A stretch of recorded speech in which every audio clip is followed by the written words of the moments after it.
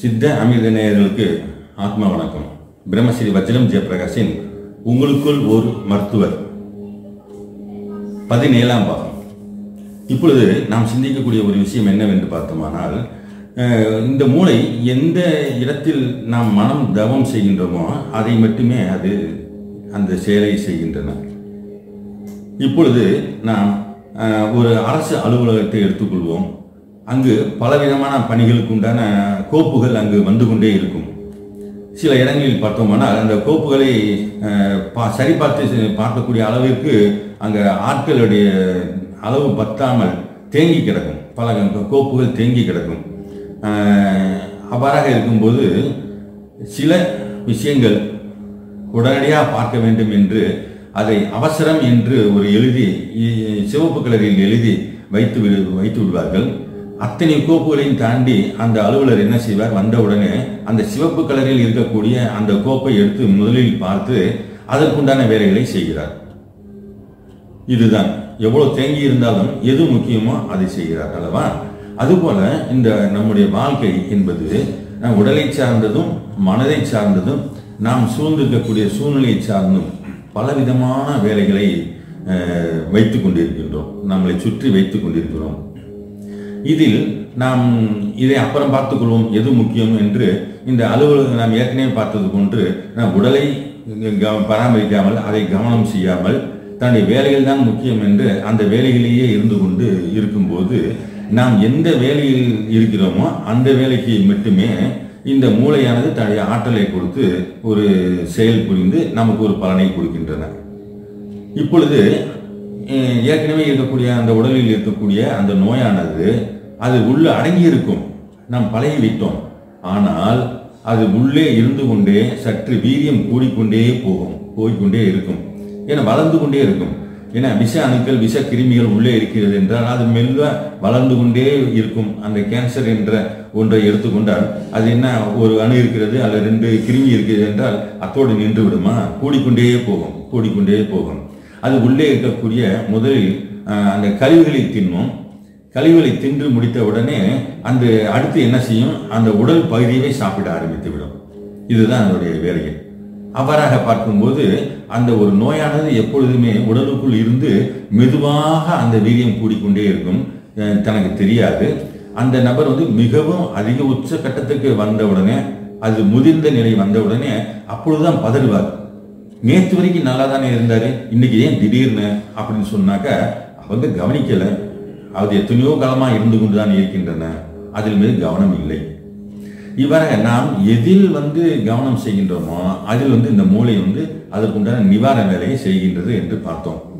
இப்பொழுது இந்த அவசர கோப்பு என்று சொல்லக்கூடிய ஒன்றை எவ்வாறாக பார்த்தார்களோ அதுபோன்று நாம் இதுதான் அவசரம் இது முக்கியம் இது பார்க்க வேண்டும் என்று எது அபாயகரமான இருக்கக்கூடிய ஒன்றை நாம் மறந்து விடாமல் கவனமாக அது இருக்கின்றதே அதை போக்க வேண்டுமே என்கின்ற அதே கவனம் தியானம் செய்து கொண்டே இருந்துவிட்டு அதை நீக்க வேண்டும் என்கின்ற ஒரு கோட்பாட்டில் அதில் அழுத்தம் கொடுத்து கொண்டே இருந்தால் இந்த மூளையானது மற்ற வேலைகளை விட்டுவிட்டு அந்த வேலையில் தன்னுடைய பணிகளை செய்யும் போது அது நிவர்த்தி ஆகிவிடும்.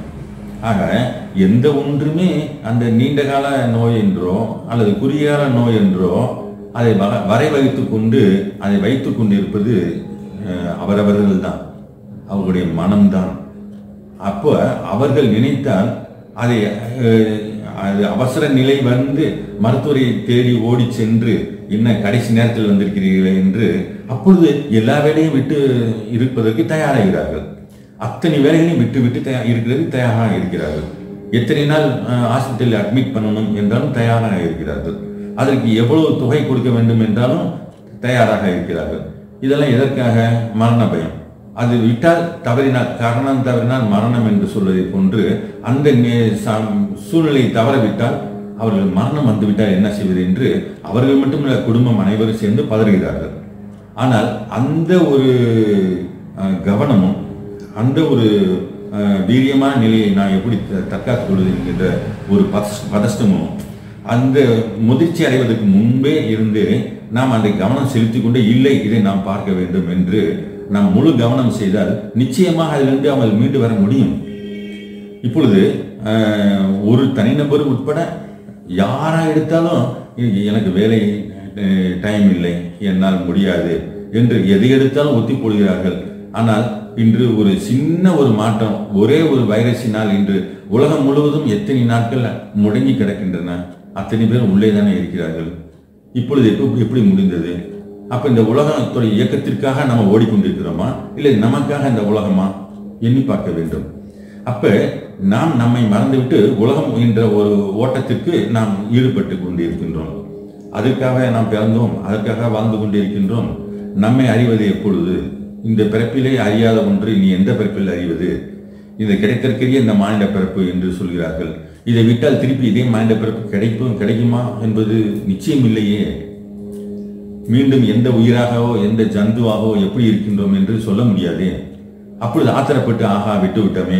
நம்ம அப்பொழுதே அதை தக்க வைத்துக் கொண்டிருக்கலாமே. இப்படி செய்திருக்கலாமே அப்படி செய்திருக்கலாமே எவ்வளோ செய்திருக்கலாம். ஆனால் எந்த ஒரு சாதனையோ எந்த ஒரு வேலையோ எந்த ஒரு உலக ஓட்டமோ நம்மை ஒரு தனி மனிதனை காப்பாற்றுறது. அது புற வாழ்க்கை அது ஒரு மாயா வாழ்க்கை. எல்லோரையும் ஏமாற்றி அது ஓடிக்கொண்டே இருக்கும். அது அது ஏமாண்டவர்கள் மீன் அதோடு சேர்ந்து ஓட வேண்டியதுதான். ஆக பார்க்கும்போது நாம் ஒரு தொந்தரவு ஒரு நோய் என்று அறிந்தவுடனே மற்ற வேலைகளை ஒரு பக்க வேலைகளாக வைத்துக்கொண்டு முக்கிய வேலையாக நம்மிதை எப்பொழுதும் கவனம் எப்பொழுதும் தியானம் தியானம் தியானம். நீங்கள் எந்த வேலையும் செய்துதான் ஆகணும் செய்து கொண்டே இருக்கிறது ஆனால் ஒவ்வொரு நிமிடமும் எல்லோரும் சந்தோஷமாக இருப்பாங்க ஜாலியாக இருப்பாங்க. இல்லை இல்லை நான் எப்படி சந்தோஷமா இருக்க முடியும்? என் உடம்புல அந்த பிரச்சனை இருக்கிறது. நீங்காமல் நீங்காம நான் சந்தோஷப்பட்டு என்ன பிரயோஜனம் இருக்குது அப்படின்னு சொல்லிட்டு கவனம் பூரா வந்து எல்லாமே முழுமையாக நல்லா இருந்தால் அந்த உடல் சந்தோஷமான உடல் தான். இனி புது புதுசாக புற புறத்தில் போய் ஒரு சந்தோஷப்படுவதற்கு ஒன்றுமே இல்லை. என்னுடைய உடல் என்னுடைய உறுப்புகள் அனைத்துமே தெளிவாகவும் பொலிவாகவும் ஆரோக்கியமாகவும் இருந்தால் எனக்குள்ளதே சந்தோஷம் இருக்கின்றன. ஏன் இப்போ எவ்வளவு பெரிய ஒரு விழா நடக்கின்றன ஒரு கோலாகலமான கொண்டாட்டங்கள் நடக்கின்றன ஒரு பெட்டில் படுத்திருக்கக்கூடிய ஒரு நோயாளியை கொண்டு போய் வைத்து இது பாருங்கள் இந்த விசேஷத்தை பாருங்கள் என்றால் அவன் அதை ரசிப்பானா? காய்ச்சல் மிகவும் கொடூரமாக இருக்கின்றன பதார்த்தங்கள் இருக்கின்றன எல்லோரும் சந்தோஷப்படுகிறார்கள். எடுத்து நீங்களும் சாப்பிட்டு சந்தோஷப்படுங்கள் என்றால் அவரால் முடியுமா? யோசித்து பார்க்க வேண்டும். அப்பொழுது ஆனால் சந்தோஷம் எங்கே இருக்கின்றன? நமக்குள்ள தான் இருக்கின்றன. அப்படி பார்க்கும்போது அந்த நோய் எங்கே இருக்கின்றன? இந்த விழாக்களோ இந்த கொண்டாட்டங்களோ அது வந்து நம்மளை சீர்படுத்திடுமா? இல்லை நாம் செய்து கொண்டிருக்கிற வேலைகள் வந்து நம்மளை சீர்படுத்திடுமா? இல்லை அந்த வேலைகளை செய்து விட்டால் போதும் இந்த இந்த மோ- பிறப்பு மோட்சம் கிடைக்கும் என்று எண்ண முடியுமா? ஆக தியானம் செய்யுங்கள். நேயர்களே தியானம் பண்ணுங்கள். என்ன தியானம் என்றால் உங்களுக்கு என்ன தேவையோ உங்களுடைய ஆரோக்கியத்துக்கான உடலை பற்றி தியானம் பண்ணுங்கள் உங்கள் சந்தோஷத்தை பற்றி தியானம் பண்ணுங்கள் உங்கள் குடும்பத்தை பற்றி தியானம் பண்ணுங்கள் உங்களை சுற்றி இருக்கிறவங்களை பற்றி தியானம் பண்ணுங்கள் இது மிக முக்கியமானது. ஆனால் எல்லாவற்றிலும் வெற்றி அடைய முடியும். ஏனென்றால் அந்த புறவாழ்வில் இருக்கக்கூடிய அந்த பொய்யான விஷயங்களில் எதில் ஈடுபடாமல் எது தேவையோ அந்த தேவையான ஒன்றில் மட்டும் தியானம் இருந்தால் நாம் அதற்கு எளிமையாக அதை வந்து அதில் இருந்து மீண்டு நாம் வந்து சுகமாக வாழ முடியும். இதைத்தான் புத்தர் அவர்கள் வந்து வழியை ஏற்றுக்கொள் என்று ஒரு வார்த்தையில் மிகவும் அருமையான ஒரு பொன்னான ஒரு வரியை சொல்லிவிட்டு போயிருக்கிறார் என்றால் இது உடல் அளவுக்கு மட்டுமல்ல மனதிலும் அதேதான். துன்பம் என்ற ஒன்று விரட்டி கொண்டே இருக்கும். அதை நீ தள்ளி நின்று அதை ரசித்து பார்த்து கொண்டே அது ஓடிவிடும். அவ்வளவுதான். அதோடு சேர்ந்து ஓடிக்கொண்டே இருந்தால் அது உணர்ச்சி. நம் தள்ளி நின்று பார்த்தா அது உணர்வு. நீ என்ன செய்து விடுவாய்?